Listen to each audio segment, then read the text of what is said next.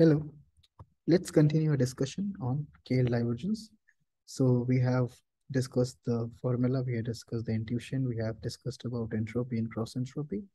Uh, so the KL divergence given by this formula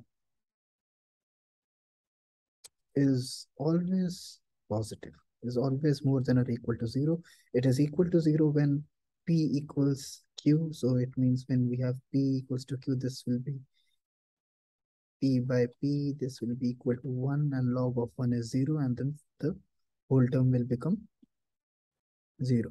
But all in all, it is a positive quantity equal to zero when when and when if and only if q is equal to p.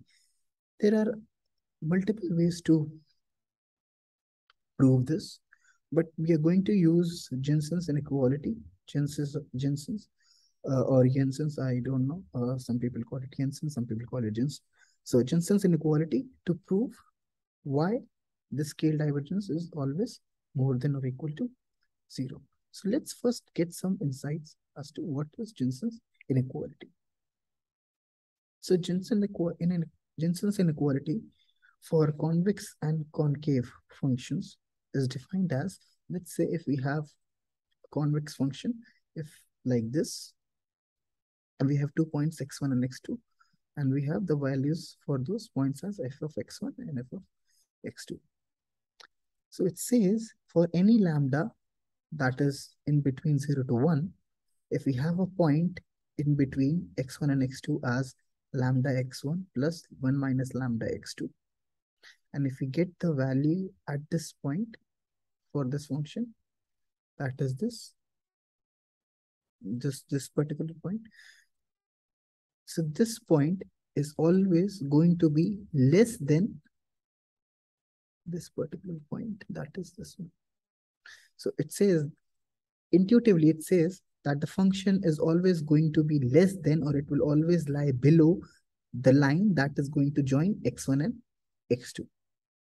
This is, we can write like function of this particular point that is that is this one comes in here this function is always going to be less than, always lie below this line that is given by lambda f of x1 plus 1 minus lambda f of x2.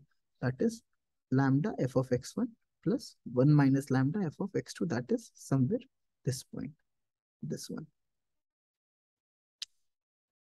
Same thing for concave functions. So if a function is concave, then the function is always lie going to lie above the line that is going to join x1 and x2. And this can be mathematically written as this function at any point that is between x1 and x2. So if we just try to change these lambda, lambda values, then all the points between x1 and x2 for this function are always going to be more than or lie above this line given by lambda f of x1 plus 1 minus lambda f of x2. Okay. For convex, function will be below the line. For concave, function will be up the, above the line. Very simple. So this, this is the Jensen's inequality. So if we want to prove whether a function is convex or not, if we are able, able to prove this thing, then we can prove that the function is convex. If we, if we are able to prove this point, then we can say that the function is concave. Very simple. This can, this point, lambda x1 plus 1 minus lambda x2 can also be written as lambda 1 x1 plus lambda 2 x2 where we can have lambda 2 as 1 minus lambda 1. So we can say that lambda 1 plus lambda 2 is equal to 1 so that we can get lambda 2 equal to 1 minus lambda. Here we can say that both lambda 1 and lambda 2 are in between 0 to 1. So if we now extend this fact, and if we, instead of just lambda 1 and lambda 2, if we have lambda 1 to lambda n, all these lambdas lying between 0 to 1, lambda i, element of 0 to 1, and if we sum them up, lambda 1 plus 2 plus lambda 3 plus lambda 2 to lambda n, that is summation of lambda i is equal to 1. If if these two properties are there for lambda, then our Jensen's inequality for, for convex function can be written as, again, the function is going to lie below this line. So what we had is, in this case, what we are having is lambda 1 x1 plus lambda 2 x2. So summation of the product of lambda x. Here we are having summation of lambda and the value at that function. Okay. So we are having summation of lambda i xi is always going to be less than summation of lambda i times f of xi. And the sign will just going to be opposite for concave functions. That is, these are going to be the same. Only the sign is going to reverse. But now the function lies above the line. That is function of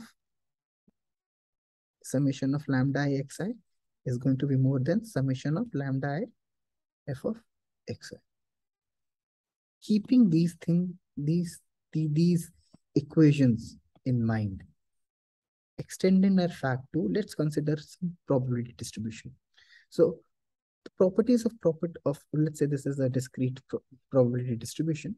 So the properties of these are, all the values are going to lie between 0 and 1 and summation of all the values are going to be equal to 1, right? P of xi, element of 0 to 1, and summation of all P of xi from for all the i's is equal to 1. Is there a similarity? Right? Is it equal to, is, is it uh, as same as lambda i? So we can, because lambda i also, for each and every lambda i was lying between 0 and 1. And if we sum all the lambda i's, those were actually nothing but equal to 1. So if we say that, let's assume lambda i is equal to p of xi. And if we again the Jensen's inequality in here, that is if, if we simply write for convex function where the function was below the line, I can simply replace this lambda i with p of xi, lambda i with p of xi. So now my Jensen's inequality using the probability distribution becomes function of summation of p of xi times xi is less than or equal to summation of p of xi times f of xi. If you observe this, this is nothing but the expectation of the value x, this random variable x. See, expectation of x is given by summation of probability of x times the value, right? We are sampling it from this distribution. And same thing we can write for, this is the expectation of f of xi. So this is expectation of f of x, where x is coming from this distribution. So for convex function, we can say that function of, function of expectation of something, this x is the something, function of expectation of something is less than, is less than expectation of function of something. This something is x, x is here, x is here.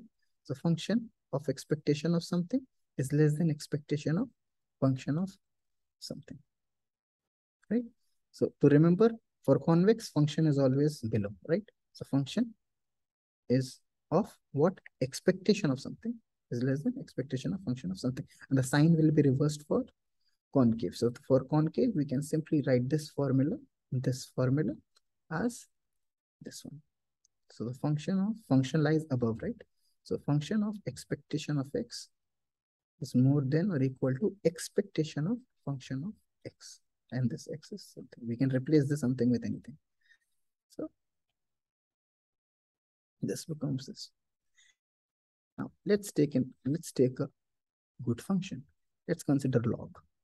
What is log? Log is given by this. This log is a concave function. Okay, log of x is a concave function. Similarly, negative of log x is a convex function. Okay, so as simple as that. If we draw a line, the function will always be lying above. If we draw a line, the function will always be lying below, just to prove that intuitively.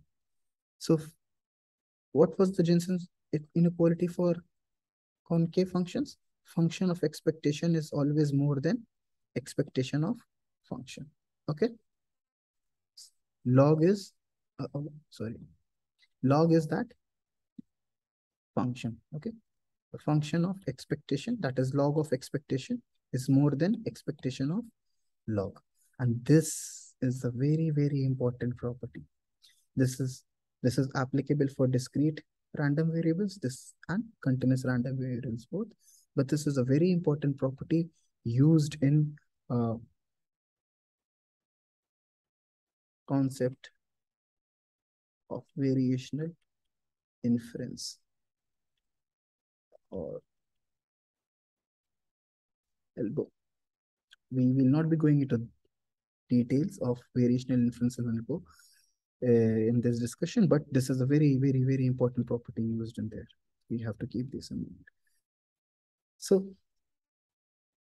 log of expectation is more than expectation of log of something. Okay.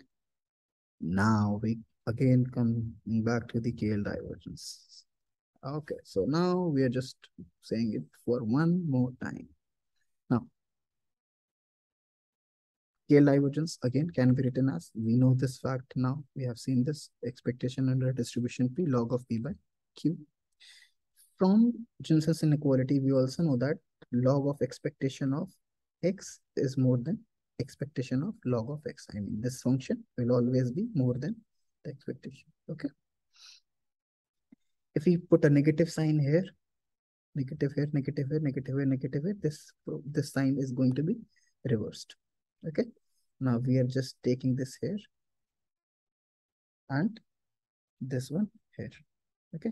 So expectation, just just just manipulating these things. The negative of expectation of log of something is more than or equal to negative of log of expectation of that. Now, if you come back here to this formula, if we flip this and take the negative sign out, okay, we are taking the negative sign out, we're flipping this, so it becomes log, instead of log of p of q, p by q, it becomes log of q by p, okay. This, so this becomes expectation of log of something, where something is q by p. So now if we use this property, if we use this property in here, the negative of expectation of log is more than log of x negative of log of expectation here. Okay this, if we expand, will become, and let's consider continuous variable, this become integral of p of x, q by x and q by x by p by x. As simple as that. Then this p of x, p of x get cancelled and we are just left with integral of q of x dx. And what do we have this for? Okay, this is equal to 1 because we know that integral of distribution, this is nothing but a probability distribution, right? So if we just sum all the probability all the values of the probability distribution, we are getting 1. So this becomes 1 and log of 1 is 0.